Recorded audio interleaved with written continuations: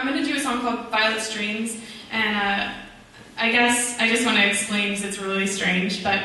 I was doing a crossword puzzle in pen one night, and I fell asleep, and I woke up, and I had like drawn all over myself, and for some reason, this gave me the idea that I wanted to write a song about a girl who draws her dreams on herself. So this is called Violet's Dreams.